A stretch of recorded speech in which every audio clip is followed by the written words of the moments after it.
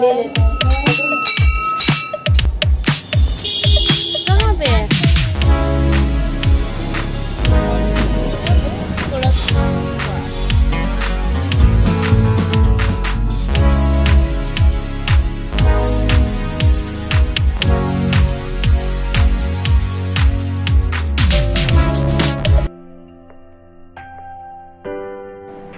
hello everyone welcome back to my channel ये है ज़िंदगी और आज है दिन थर्सडे और मॉर्निंग में ही मैं पहुँच चुकी हूँ मंदिर क्योंकि माई के आए हुए मुझे लगभग 12-13 दिन हो चुके हैं, लेकिन तबीयत थोड़ी सी ख़राब हो गई थी, इस वजह से मैं कहीं भी नहीं निकल पाई थी।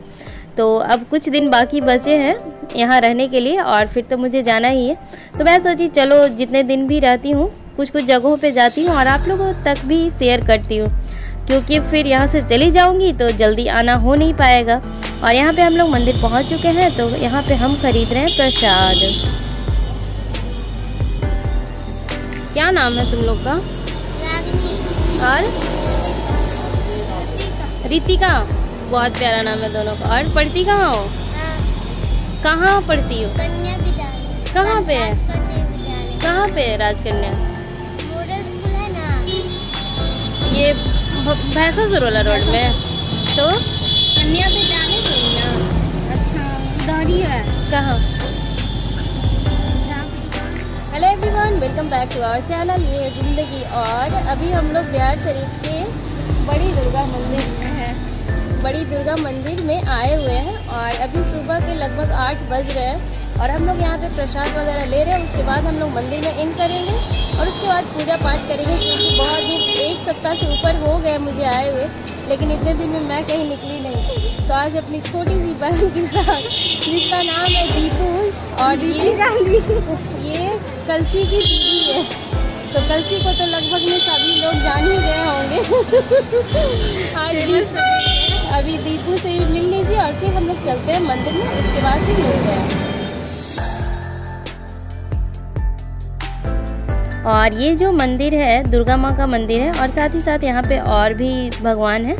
तो चलिए हम लोग आगे देखते हैं कि और कौन कौन से भगवान हैं और सभी के दर्शन भी करते हैं। और मैं ये भी बता देती हूँ कि ये बिहार शरीफ के भराव पर ये मंदिर है।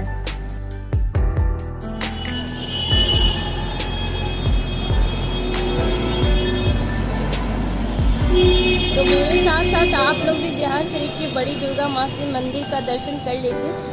और अभी मॉर्निंग के टाइम में काफ़ी ज़्यादा शांति है गर्मी तो है यहाँ पे लेकिन लोग बहुत कम है इस टाइम में। बताओ जहाँ चलिए चले। पहले कहाँ जाया जाता है कान्हा जी तो हम लोग पहले कान्हा जी के दर्शन करने जा रहे हैं। कान्हा और राधा जी। कान्हा और राधा जी। मैं पहली बार आई हूँ दीपू पहले आई है इसलिए आज ये मेरी गाइड है। और यहाँ पे हम लोग मंदिर के अंदर प्रवेश कर चुके हैं। तो आगे में तो आपने देखा कि दो शेर जो है, वो बहुत ही खूबसूरती से सजाए गए हैं, रखे गए हैं। और अब यहाँ पे हम लोग राधा कृष्णा जी के मंदिर में आ चुके हैं। तो यहाँ की जो डेकोरेशन, वो भी काफ़ी ज़्यादा खूबसूरत है। पूरी तरह से फूलों से इस जगह को सजाया गया है। और मुझे लग रहा था कि जन्माष्टमी अभी कुछ दिन पहले ही आई थी तो शायद उसी दिन के डेकोरेशन ये सारे होंगे।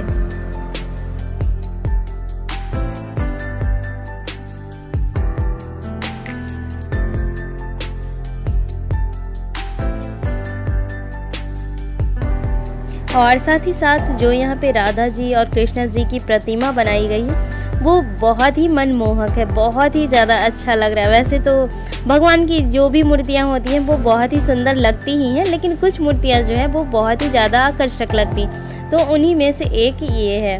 और देख सकते हैं कि नीचे में यहाँ पे बाल गोपाल को भी रखा गया है।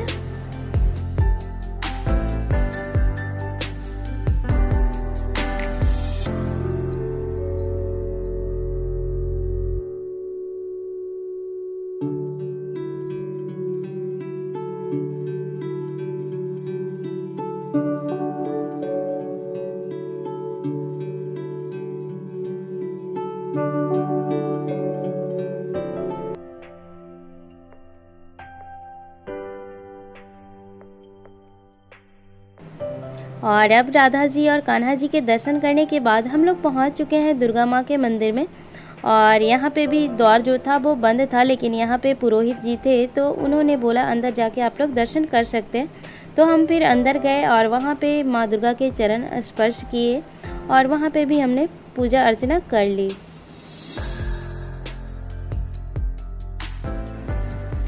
और यहाँ पे माँ दुर्गा को जो लहंगा पहनाया गया है, वो बहुत ही सुंदर लग रहा था, एकदम लाल कलर का लहंगा, बहुत ही प्यारा लग रहा था। और वैसे भी ये जो माँ दुर्गा की प्रतिमा है या फिर किन्हीं की भी प्रतिमा है, वो एकदम बिल्कुल बोलती हुई सी प्रतीत होती है। तो ऐसा ही लगता है जैसे हम लोग सच में भगवान जी के सामने खड़े हैं। इतनी खूबसूरती से सजाया जाता है और अब यहाँ पे हम लोग पहुँच चुके हैं। यहाँ पे हैं राम, लक्ष्मण और सीता जी। तो यहाँ भी पूजा अर्चना हो चुकी है।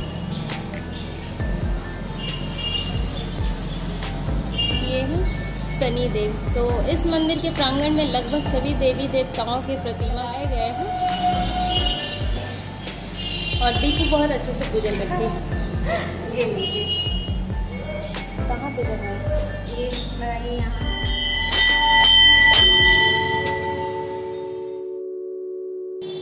और अब शिव जी के दर्शन यानी कि शिवलिंग की पूजा। तो चलिए यहाँ पे भी पूजा हम लोग कर लेते हैं।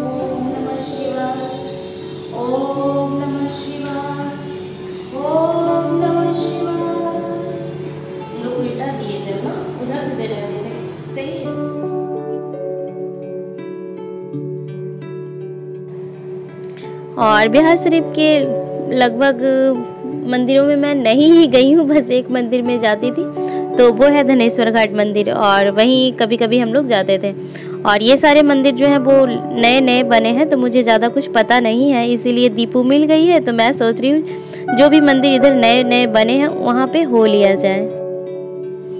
तो हमने लगभग सारी जगह पूजा कर ली, बस एक जगह पे हनुमान जी आ रहे हैं तो वहाँ पे हम लोग जा रहे हैं।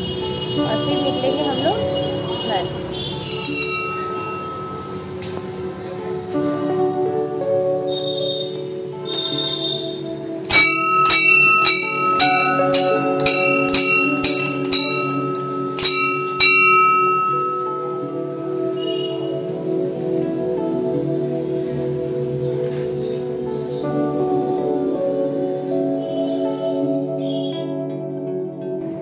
और मंदिर में जितने भी भगवान थे, सबकी पूजा हमने अच्छी तरह से कर लिए हैं। बस अब यहाँ पे बारी है आरती करने की तो यहाँ पे हम लोग आरती करने की तैयारी कर रहे हैं। और गर्मी तो थी ही, बहुत ज़्यादा गर्मी थी, लेकिन फिर भी पूजा हमने बहुत ही अच्छे से कर ली एकदम मन से, और साथ ही साथ वीडियो भी मैंने पूरी तरह से बनाई।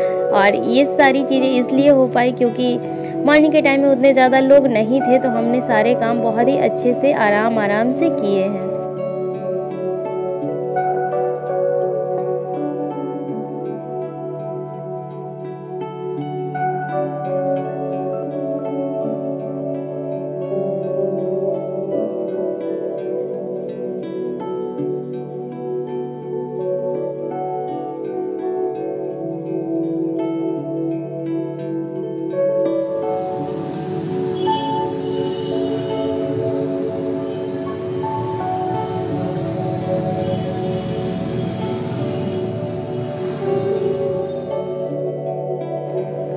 और मुझे तो इस मंदिर में जा कर के बहुत ही अच्छा लगा।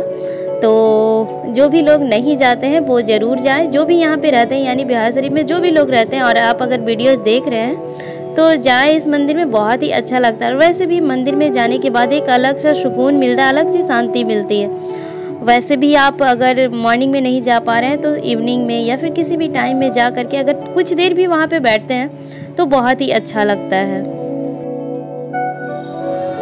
तो फाइनली सारी जगहों पे हमने पूजा कर लिए हैं और पूजा करने में और वीडियो बनाने में लगभग आधे घंटे टाइम लग ही गया हम लोगों को। तो अब हम लोग निकल रहे हैं घर।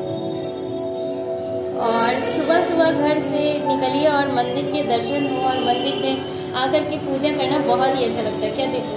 सही बात। आज का दिन बहुत ही अच्छा बन गया है ना? हमारे लिए। और जो भी दर्शन करेंगे उनके लिए भी। क्योंकि सुबह सुबह मंदिर के दर्शन करना भगवान जी के दर्शन करना वो बहुत ही अच्छा होता है हमारी पूरी लाइफ के लिए और पूरे दिन के लिए। क्योंकि हमें एक नई ऊर्जा मिलती है जिससे कि हम पूरे दिन पॉजिटिव रहते हैं। तो अगर जब भी मौका मिले तो मंदिर वगैरह में ज़रूर जाएँ क्योंकि हम लोग तो बिल्कुल जाते ही हैं।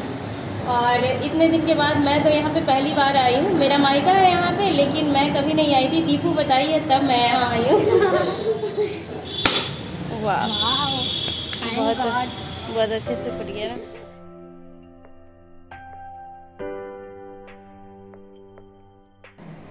और पूजा, आरती वगैरह सारी चीज़ें करने के बाद फिर से हम लोग निकल रहे हैं मंदिर से बाहर और मैं सोची कि चलो एक बार फिर से आप लोगों को दिखा देती हूँ बाहर का मंदिर का सुंदर सा नज़ारा दृश्य। और यहाँ पे अब हम लोग आ चुके हैं, ऑटो में बैठे हुए हैं तो देख सकते हैं कि मॉर्निंग के टाइम में यहाँ पे कितनी ज़्यादा भीड़ भाड़ होती है और धूप जो है वो बहुत ही ज़्यादा कड़ी वाली निकल चुकी है तो गर्मी बहुत बहुत ज़्यादा है यहाँ पे। और मॉर्निंग के टाइम में तो भीड़ भाड़ होती ही है, क्योंकि किसी को ऑफ़िस जाना है, किसी को अपना बिज़नेस देखना है तो सारी जगहों पे भीड़ भाड़ दिखी जाती है मॉर्निंग के टाइम में तो वही हालत यहाँ की भी है।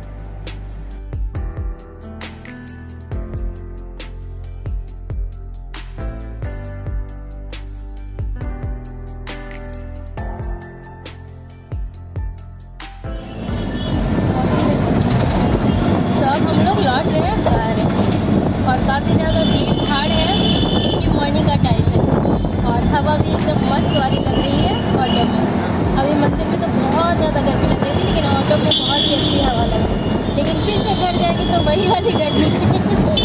और गर्मी फील होगा। हाँ, और धूप जो है वो थोड़ा थोड़ा निकल चुका है।